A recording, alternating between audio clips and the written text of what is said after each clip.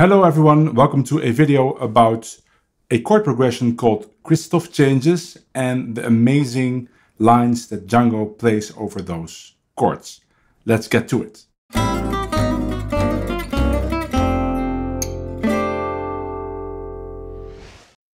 Before I start, I wanted to ask your attention for a crowdfunding project that is going on right now. It's for a new album by the Gismo Graf trio with some special guests, and one of those guests is me, but then I'll be playing violin.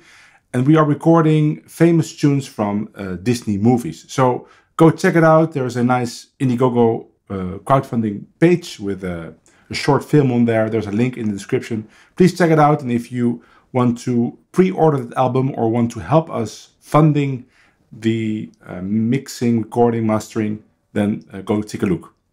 So in this video, we're going to talk about Christophe Changes. Now that name is ambiguous. Not everybody is using that name, but many people inside the Gypsy Jazz community are familiar with that name. I'm not even sure it's the correct name or if it's a good name, but it is meant to point to the last eight bars of many standards that have a certain chord progression. Now, I don't want to make a whole long video where I go in depth about the many variations of Christophe Changes and all the songs that have them, but a couple of tunes I can mention right now. Django's Tiger is one, I can give you anything but love, them there eyes, all the things you are, it had to be you.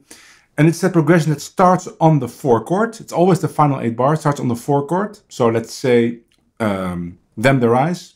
I'm going to use that song anyway to demonstrate. It's in the key of D, but the, the final eight bars start on the four chord G. And then you get a progression that sounds like this.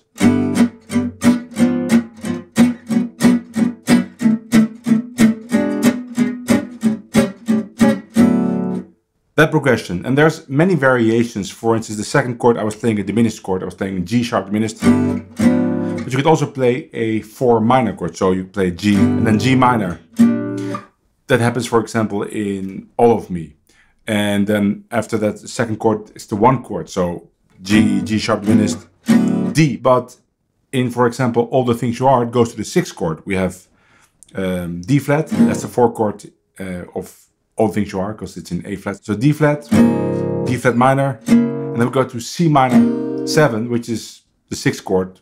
So as you can see, there's many variations, many possibilities. But the funny thing is, even though the rhythm section might be playing one of those variations, you can always use the same concepts for soloing because it's just such a strong progression and the lines can be so colorful that it doesn't have to always match. So what I did is I took five great lines that Django plays on top of those changes and I want to show them to you.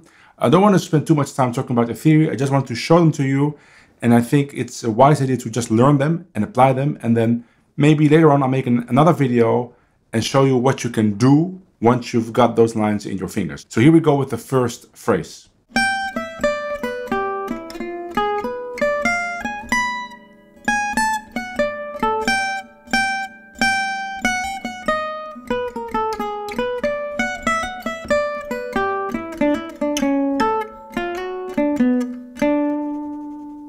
This is probably the most famous Christophe Changes line that Django played. It comes from his famous solo on Django's Tiger. It's the final eight bars of his solo. So I thought I'd start with that because you probably recognize it. The original is in A, but in this video every line will be in the key of D because I want to demonstrate the lines on the tune Them There Eyes.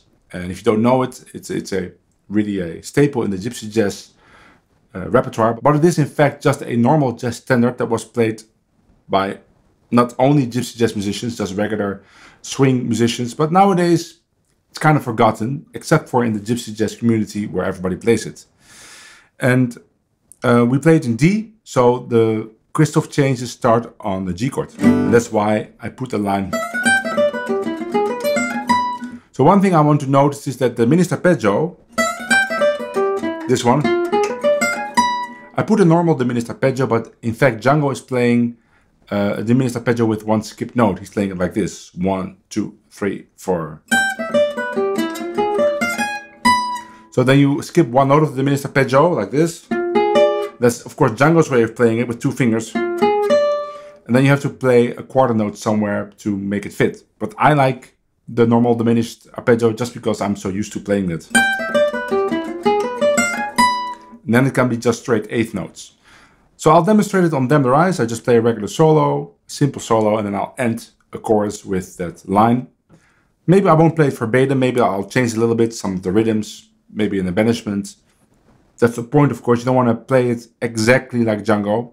Well, you could, but you could also just uh, vary it a little bit. So here we go, Them There Eyes.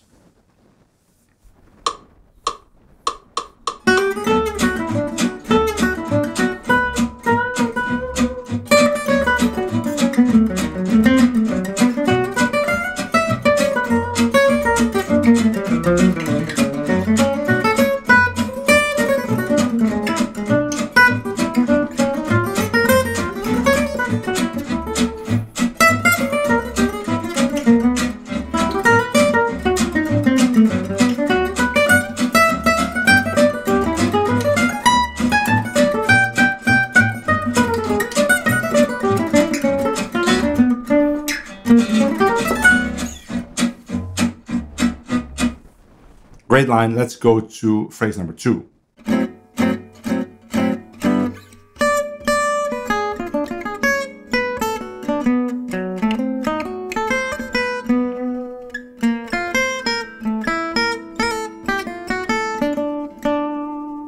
This phrase comes from the first recording of the tune I Love You, the one that he uh, played with Grappelli on violin. There's another one with clarinet.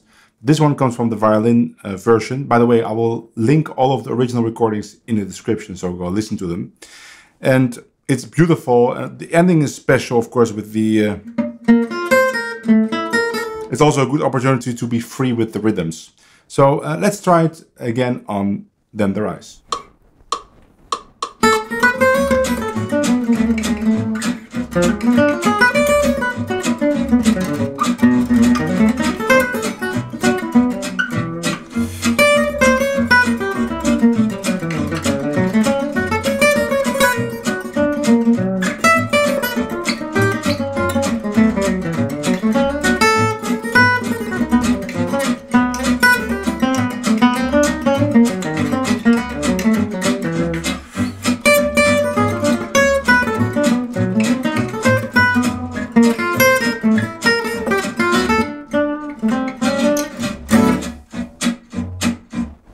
Let's go to the third phrase.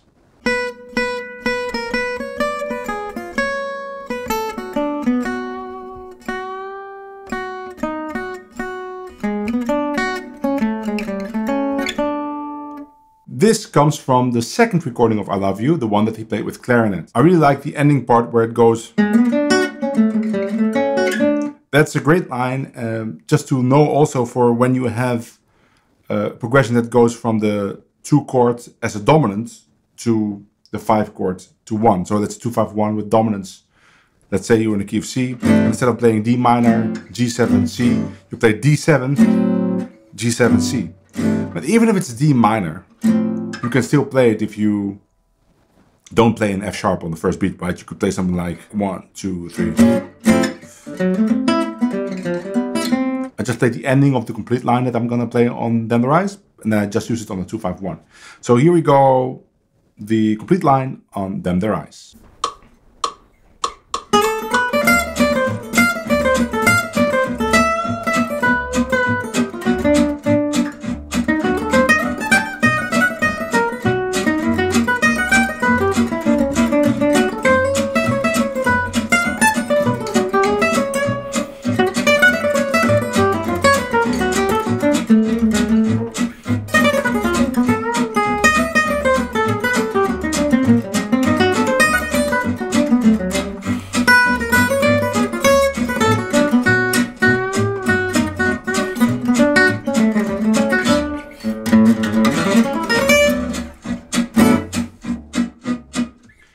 Let's go to the next phrase.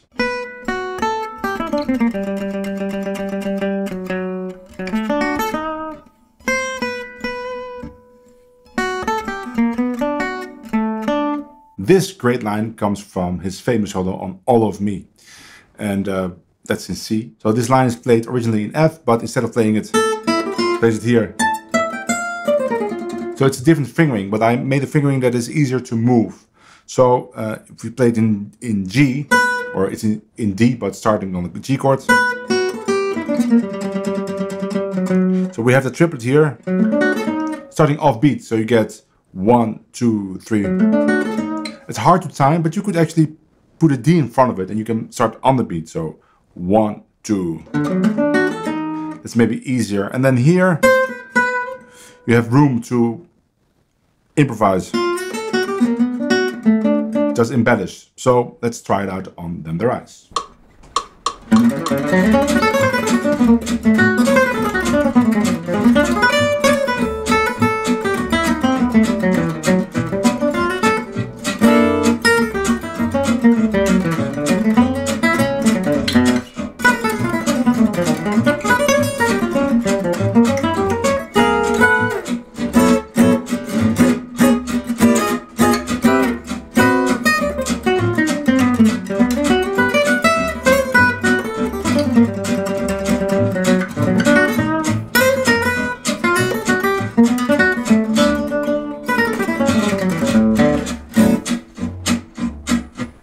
And let's go to the final phrase.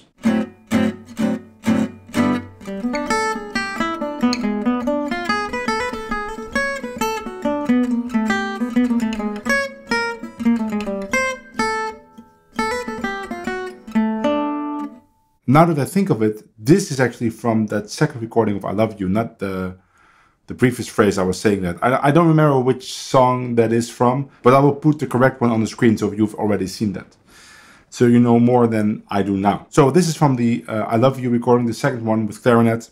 It's a tricky phrase. I made some changes. For instance, the beginning, I, I changed to that. I think he plays something like, it's kind of unwieldy. I don't think it sounds better than, and then the line is pretty tricky to play. Three, four, one.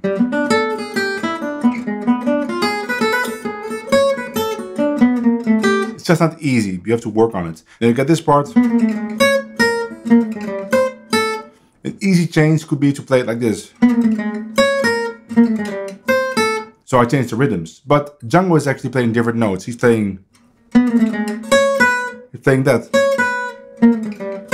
The second time it's the same.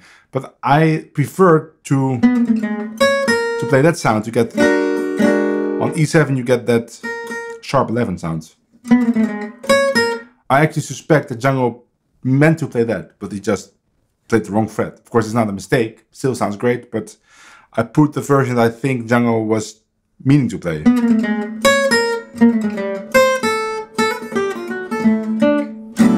Let's try it out.